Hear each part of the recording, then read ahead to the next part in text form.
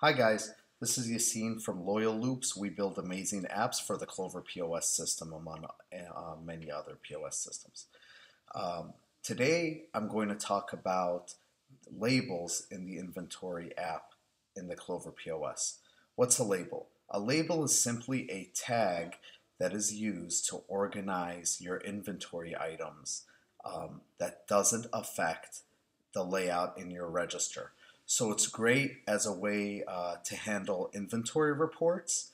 Um, for example, say you have coffees and sodas and milkshakes, and you wanted to make uh, lump them all together as beverages, but you don't want it to look like that on your register. You just want it for reporting purposes, or maybe you're using our uh, loyalty app and you want to group them together to track for a loyalty rewards program. You would create a label because um, it only appears on the back end. It doesn't affect the, the business operation on the front end. Um, so that's what a label is. It's basically a way to organize different items that may be in different categories, although they don't need to be in different categories. So to access where the labels are, you go to your inventory app, and you see on the left hand side there's items, categories, modifiers, and labels.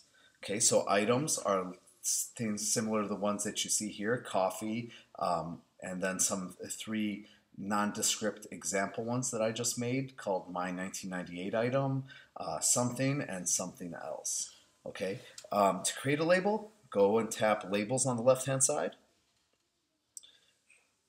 You see I have two labels in there already, one named coffee, one named example, but we're going to um, create another one for this video. So you just tap on the green uh, plus symbol in the corner and name it something. Let's name ours, um, okay, let's name it the, the example that I use when, when I'm walking someone through setting up our loyalty program. Let's let, name it reward items or reward. Tap done.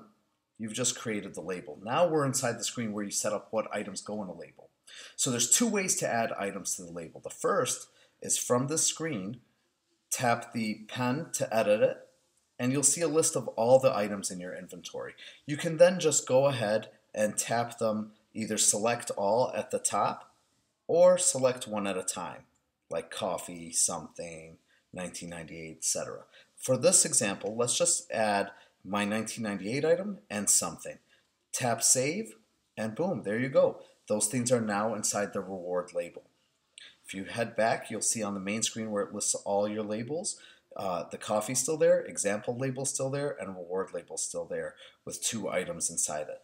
The other way to add an item to a label is to go to that individual item over here in your items list, tap on it. So let's tap on the something else label, and you'll see that on the left hand column and the lower half of the screen, it says there's no labels on that item. Let's add it to that new label that we had.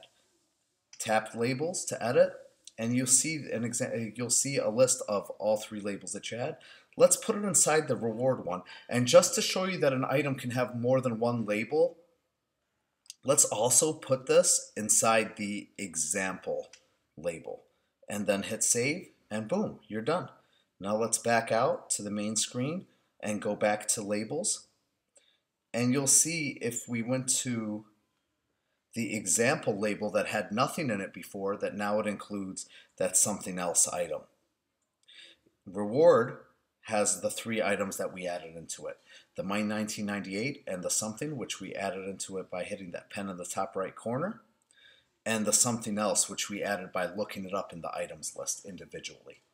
So that's basically it, guys. That's how to create a label. Um, it's very simple, very easy to use. I hope you guys are using our apps. Um, our apps can be found right in the Clover Marketplace uh, by searching Loyal Loops.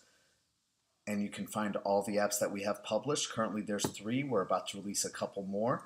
Um, customer Export is a free app, never a charge, that allows you to get all your customer data out of your Clover POS. Text message gives you a easy and affordable way to advertise via text message to your customers. And Punch Card Rewards is one of our loyalty apps. It helps you create a rewards program that's about a fifth of the cost of our competition. all these products are designed with one thing in mind to make you more money. So if you haven't checked them out, please go ahead and check them out. Um, you get either they're either free all the time or they have a 30 day free trial. Uh, the first two, customer export and text message, have uh, free plans that you never get a bill, and Punch Card Rewards has a free 30 day trial before you begin getting billed for you to try it out, kick the tires, and see what you think. Have a great day.